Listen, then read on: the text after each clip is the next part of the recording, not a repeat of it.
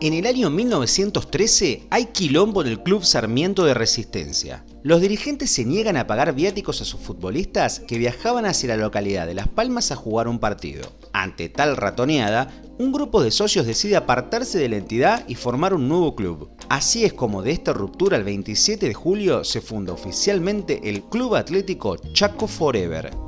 El primer nombre elegido había sido Chaco San Fernando, pero no convencía a sus fundadores que querían denominarlo de tal manera que reflejara un mensaje que perdura en el tiempo. Así fue como la aparición de alguien los iluminó, Mr. King. El señor King era inglés y empleado municipal, que charlando con los fundadores le sugirió bautizarlo Forever, que lógicamente cuadraba con la idea de los fundadores de dejar un mensaje para siempre. Con el objetivo de garantizar un futuro próspero, entonces el Chaco San Fernando se convirtió en el Chaco Forever. Sus colores son el blanco y negro debido a que una persona se presentó a jugar con una camiseta de estudiantes de Buenos Aires. Ahora, ¿qué carajo hacía un hincha de estudiantes de Buenos Aires en Chaco en 1913? Este joven era estudiante de Derecho y su camiseta a rayas verticales impactó a los fundadores que relacionaron los colores con la riqueza de los recursos de Chaco el blanco del algodón y el negro del carbón. Pero parece que el algodón quedó de lado porque el apodo de Chaco Forever es el negro. El primer partido de su historia fue justamente contra el club del cual se había separado, y hoy su clásico rival, Sarmiento. Fue triunfo de Forever por 4 a 2. En 1926, en otro clásico ante Sarmiento, Eduardo Bouquet convirtió el gol de la muerte, porque al caer luego de conectar un remate que fue gol, su cabeza impactó contra el suelo provocando un golpe fatal que le quitó la vida. Como Argentina históricamente fue un país unitario, concentrando su poder en Buenos Aires, el fútbol no es la excepción. Por eso es que no hay registro de nada en la AFA. Sin embargo, Chaco Forever competía en la liga de su provincia. Logró su primer título en el año 1926, dando inicio a una racha de 7 títulos consecutivos. Logro que consiguió antes que Juventus, Olympique de Lyon o Celtic de Glasgow, por ejemplo. Además de ser hectacampeón, el equipo se mantuvo 82 partidos invictos y se convertía en uno de los clubes más importantes de esa región del país.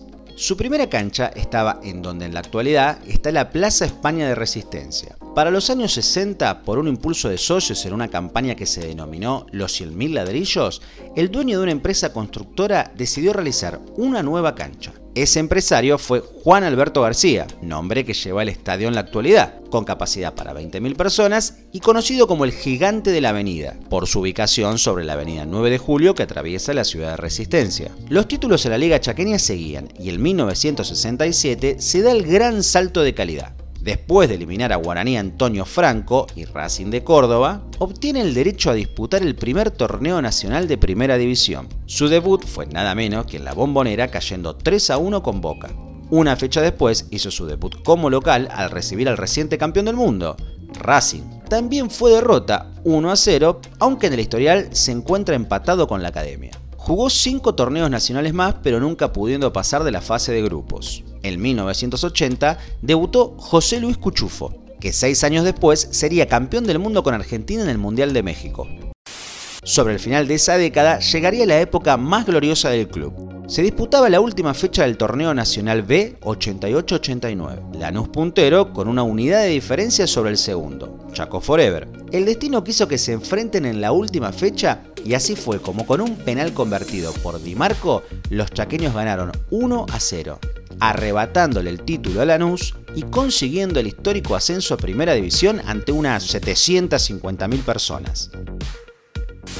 El Chango Cravero, Luis Sosa y Hugo Norenberg eran figuras del equipo comandado por Oscar Paravecino. Atención llega Valdés. Valdés que toca el centro, llega y le pega el gol. Fernández gol. Gol. Fueron dos temporadas en la A, donde en la primera se salva del descenso al ganarle 5 a 0 en un desempate a Racing de Córdoba en la cancha de Boca. En la segunda no corrió con la misma suerte y descendió al Nacional B. Los 90 fueron años duros, siguió descendiendo categorías y como todo club de bien, se produjo su quiebra en 1998. Fue tan grande la crisis institucional que hasta volvió a jugar solo la Liga Chaqueña. Después de más de 10 años en el torneo argentino B, en el 2013 logró subir hasta el argentino A, tercera categoría del país, al vencer en los penales a Juventud Unida de Gualeguaychú.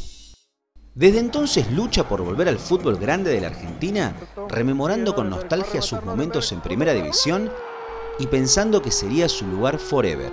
Forever. Forever, forever, forever. Pase allí, atención, va Sosa, la pelota hacia el arco. ¡Gol!